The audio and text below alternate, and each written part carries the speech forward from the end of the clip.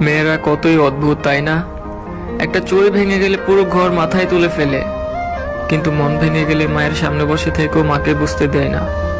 একটু হাত কেটে গেলে সবাইকে পাগল করে দেই কিন্তু মনে শুধু কষ্ট নিয়েও চুপ করে থাকে।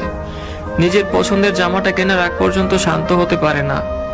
কিন্তু অপছন্দের একটা মানুষের সাথে পরিবারের সুখের জন্য পুরোটা জীবন কাটিয়ে দিতে পারে।